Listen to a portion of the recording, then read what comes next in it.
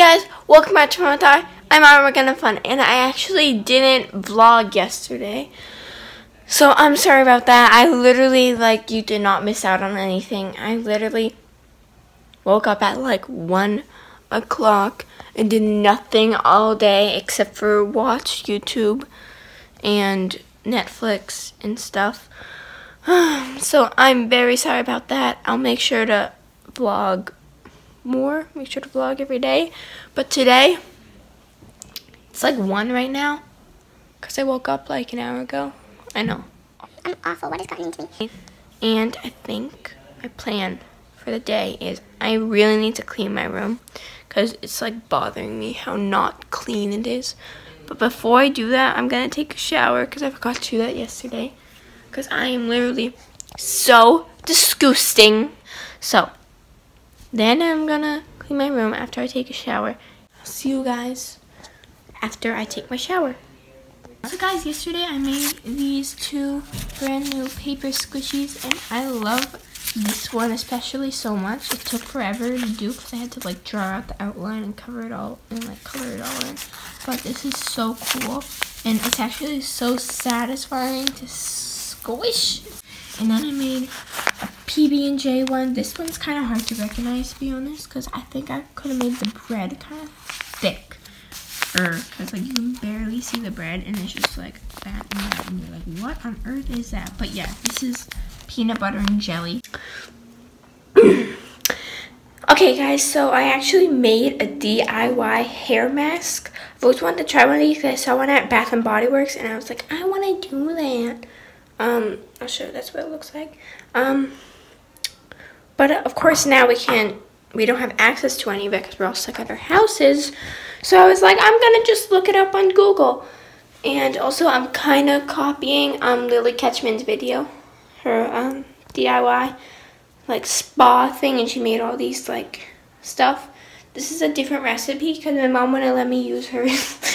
but um, if you guys want to see that, she's amazing. I'll link it down below. So I'm gonna take a shower. I'm gonna put that in my hair.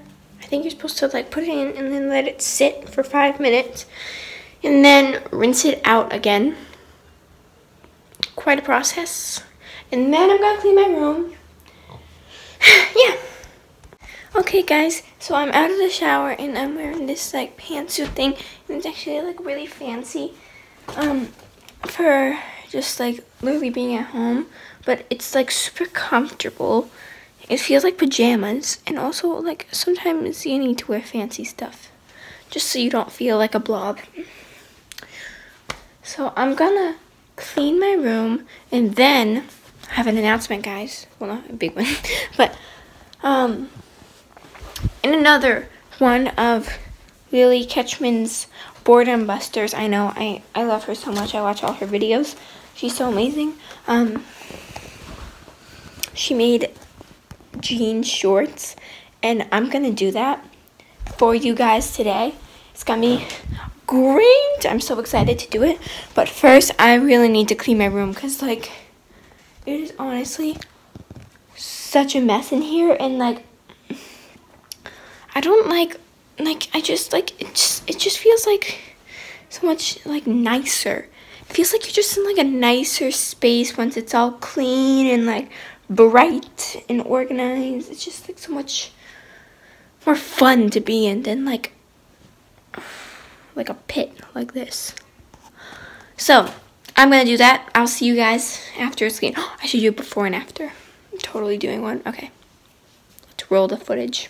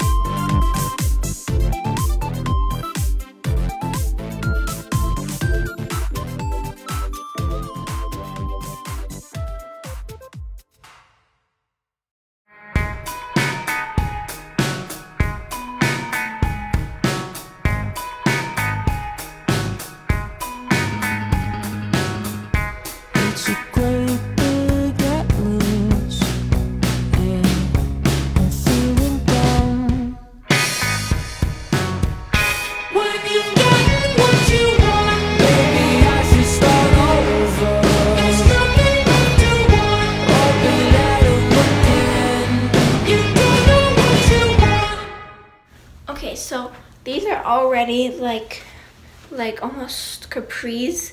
Like that's just how they came.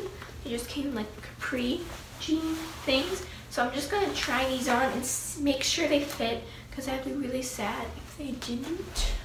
Okay, so they fit. And now we are going to start the process of making them into shorts. Like, so to start, we don't want to make them too long or too short. So I think I'm gonna go get another pair of jean shorts from my closet and just kind of like see like what length I want it at. Okay, so I have these shorts from my closet and I'm just gonna like maybe make a little mark on these to see like how short I want them and how long I want them. And also these are rolled up, so I'm just gonna unroll them.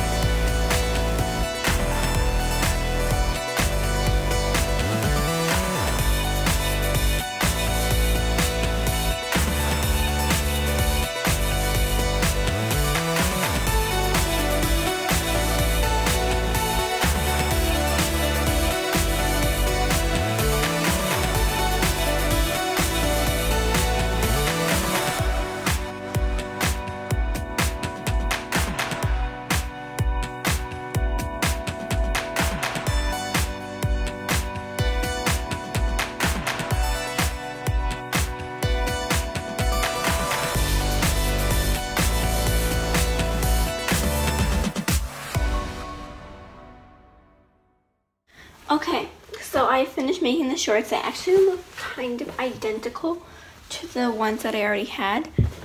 This is them. I really like them. They're really cool. And also, I just I just want to show you one thing. I started kind of making it like fringy at the bottom, as you can see with the tweezers.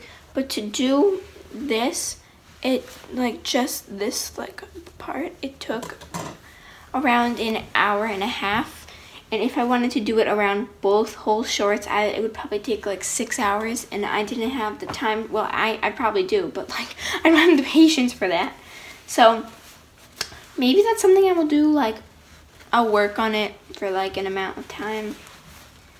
So yeah, I'm gonna move on to the next pair of shorts. These ones I actually like better and they fit better, so I don't want to screw these ones up. So yeah, I'm gonna work on this and I'll see you guys when this is done. Okay, I finished these. I really like them. They're actually a little bit short, but that is okay. Um, where did the other ones go? Oh, right here.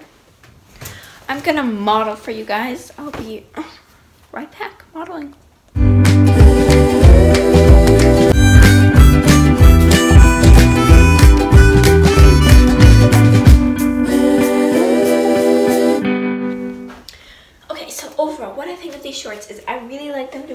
Comfortable.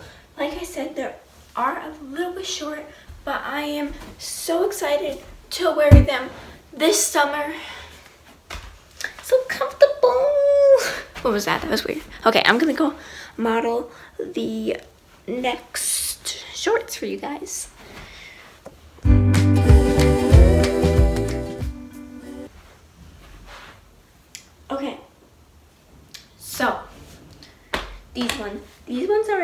Length. I think the other ones were a little bit short, but I think these ones are a better length. And also, I do actually like the other ones better because I liked the color and the material better because the material was very like stretchy, but these are kind of like stiff, like I'm kind of like.